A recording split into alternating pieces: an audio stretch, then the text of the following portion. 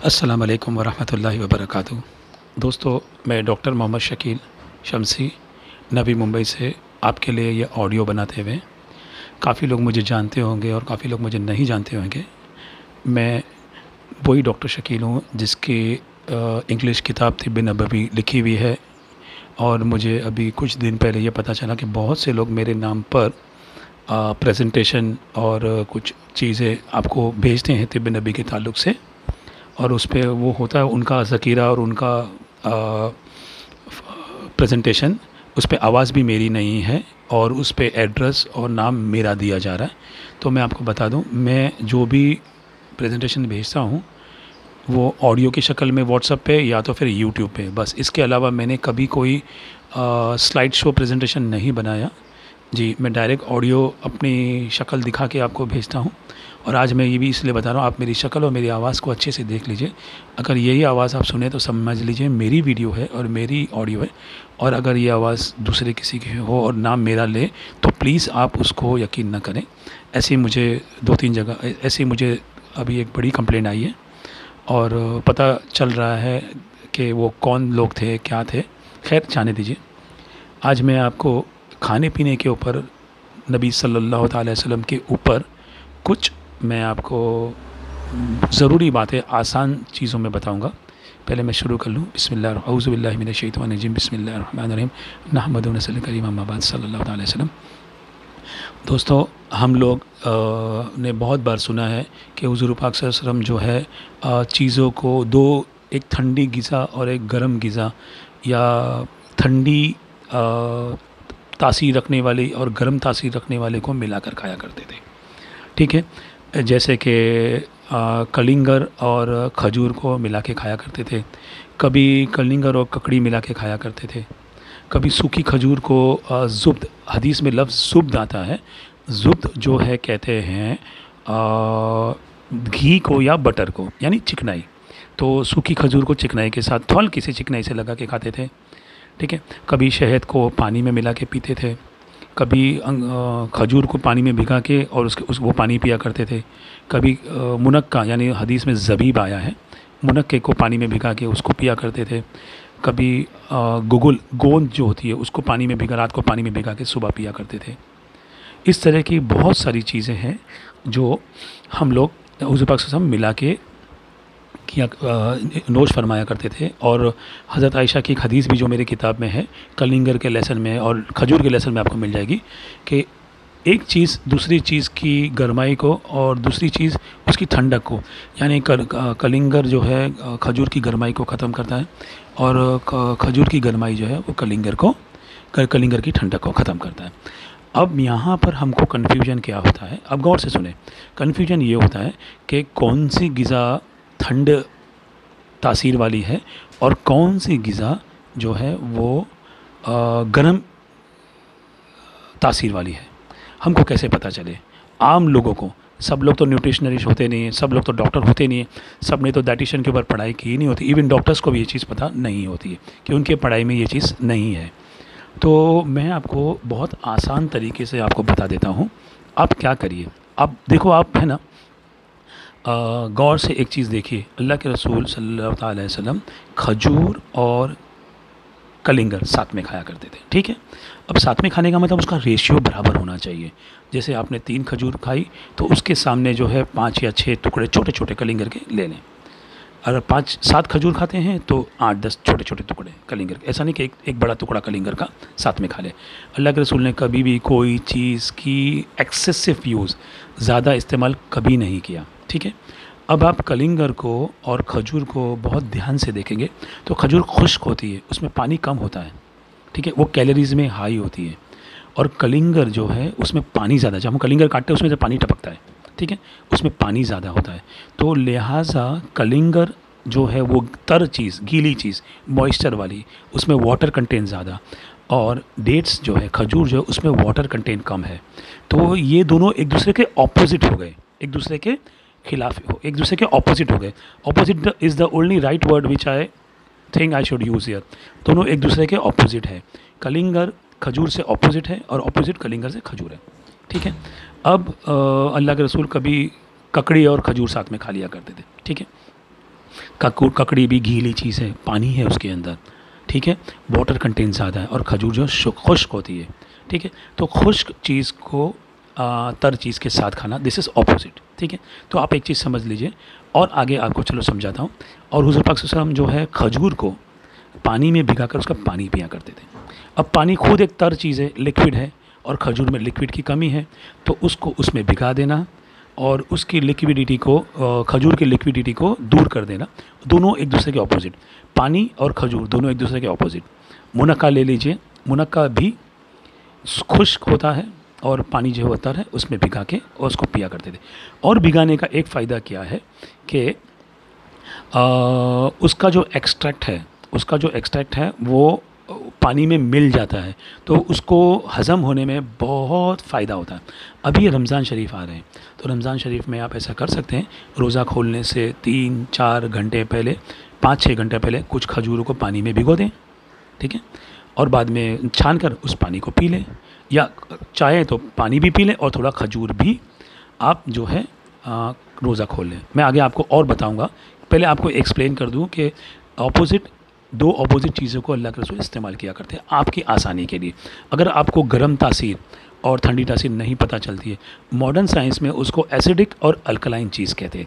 Acidic चीज़ जिसको कहते हैं जिसमें एसिड्स लेवल जिसमें प्रोटीन ज़्यादा होता है। और अल्कलाइन उसको कहते हैं जो सेवन से सेवन पीएच से ऊपर होता है, उसको अल्कलाइन कहेंगे।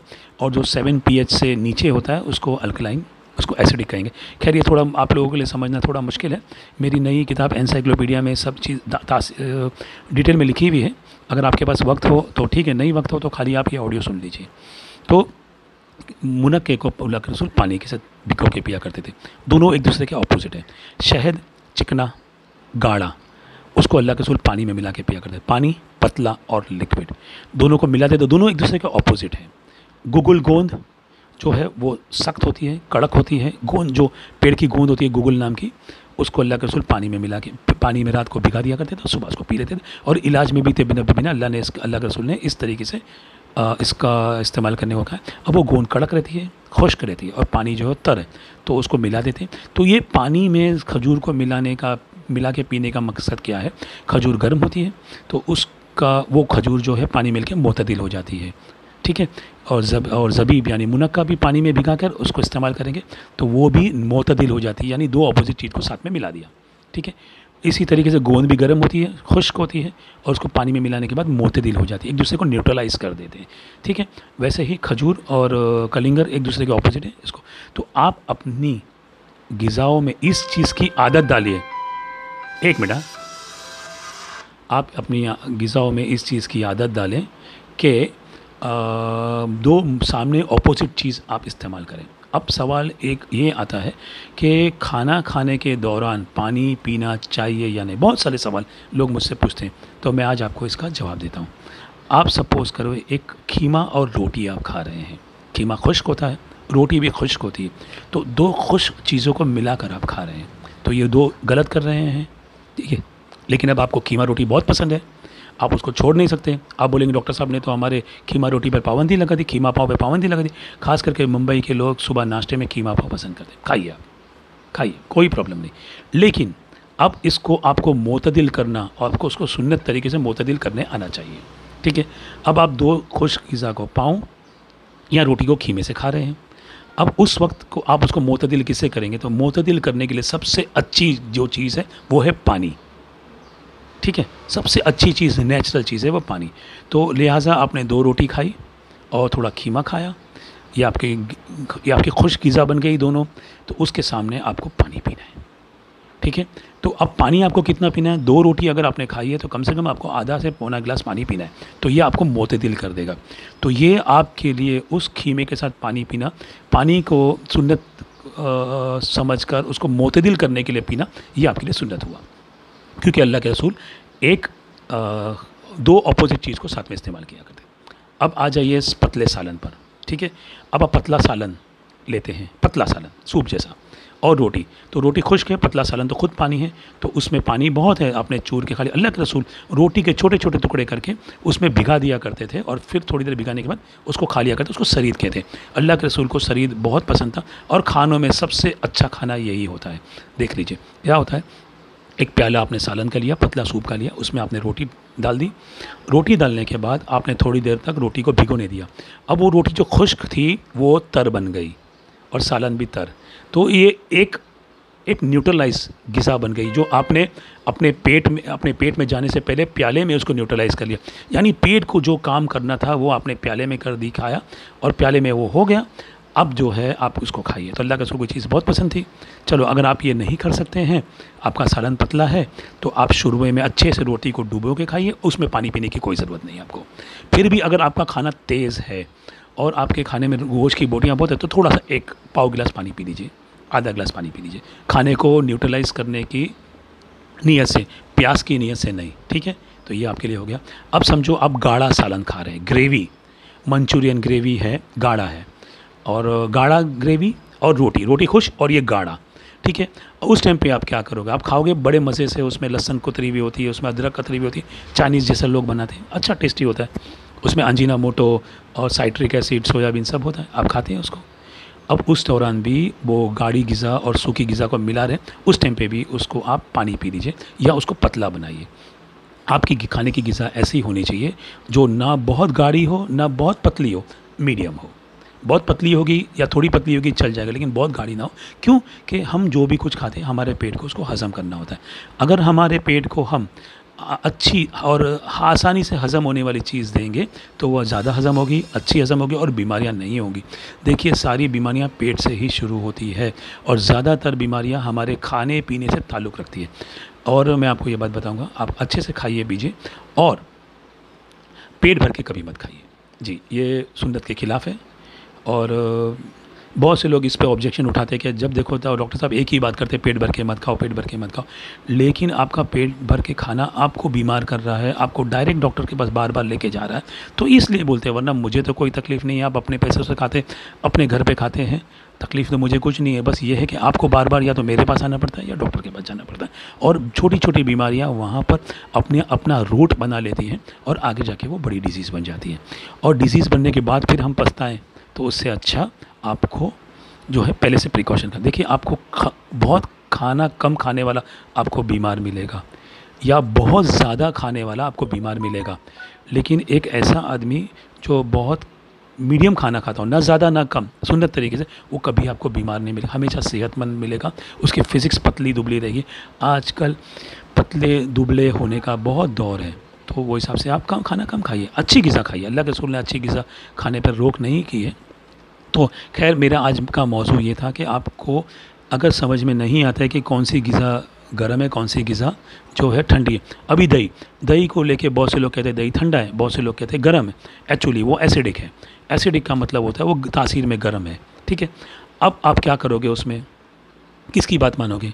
तो अल्लाह के रसूल जब भी, जब अल्लाह के रसूल बहुत बार बकरी का दूध पीते तो उसमें उसमें पानी मिला दिया करते।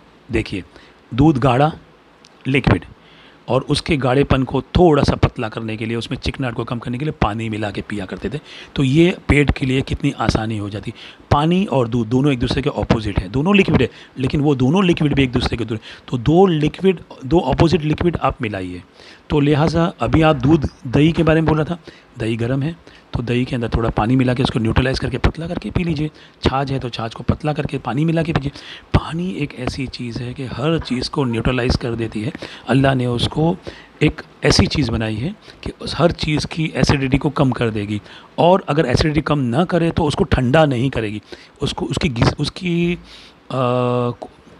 पोटेंसी को ठंडा नहीं करेगी। उसको गर्म ही रहने मतलब उसको न्यूट्रलाइज़ करेगी। गर्म से उसको न्यूट्रलाइज नॉर्मल कर देगी। जी। देखिए, अब अल्लाह के रसूल की बात है हमको क्या पता चले, अल्लाह के रसूल दूध का बकरी का दूध पीते, उसमें पानी मिला लिया करते, खजूर खाते तो पानी में भिगो के खजूर खाते। हैं खजूर के बारे में आपको एक बात बताऊँ माँ ऐशा सिद्दीक अंदर की हदीस है कि आपको हदीस के सब रेफरेंस मेरी किताब में मिल जाएँगे। सब लेसन के अंदर हदीस के रेफरेंस अच्छे से पूरे बुक नंबर वॉल्यूम नंबर किताब नंबर इंग्लिश हदीस का नंबर और अरेबिक हदीस का नंबर भी दिया हुआ आप देख सकते हैं। ठीक है? तो लिहाजा अल्लाह के रसूल रात को, अल्लाह के रसूल के लिए रात को कुछ खजीरे, कुछ खजूरें पानी में भिगा दिया करती है और सुबह अल्लाह के रसूल उसका पानी पिया करते। और जो सुबह भिगाई जाती है, अल्लाह के रसूल को शाम शाम को पीते। यानी अगर उनको पीना होता था तो एक दस बारह घंटे का गैप रखते थे। हम भी रात को खजूर को पानी में भिगा दें और उसको पी लें। लेकिन रोज़ाना नहीं करना है ये। अब इसका मतलब ये नहीं कि डॉक्टर साहब ने बोला था रोज़, कभी एक एक दिन आप खजूर का पानी पी लीजिए, दूसरे दिन आप मुनक्के का पानी मुनक्के और खजूर या किसी और चीज़ को साथ में नहीं भिगाना है। एक ही किस्म की खजूर लीजिए, उसको भिगाइए। आज आपके पास अजवा खजूर है, अजवा भिगाइए। आपके पास बरनी है, बर्नी भिजा दिए। आपके पास कलमी है तो कलमी ही भिजाइए। चार, पाँच खजूर एक साथ मिक्स करके मत लीजिए। जी?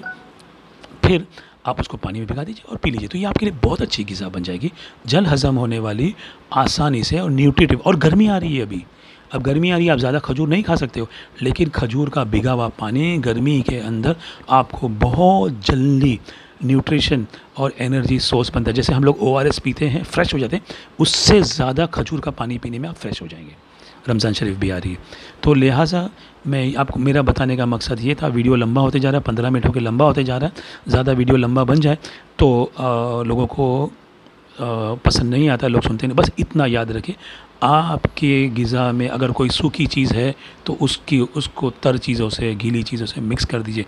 कोई गाढ़ी चीज़ है तो उसको पानी से डाइल्यूट कर लीजिए। कोई सूखी चीज़ है तो सामने कोई तर चीज़ से उसको मुलविस यानी उसको, उससे मिक्स करके खाइए। ठीक है?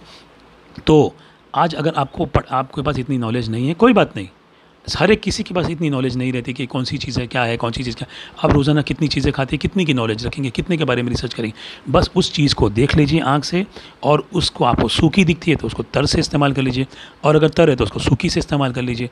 अगर बहुत ही सूखी है, जैसे छुआरा है तो उसको थोड़ा बटर या थोड़ा सा घी से फ्राई करके या घी घी से ले लीजिए। और अगर गाढ़ी चीज़ है शहद है, दूध है तो उसको पानी में मिला के ले लीजिए। इस तरह की दो अपोजिट चीज़ को साथ में मिला कर लेना, ये सुन्नत करार हो जाएगा।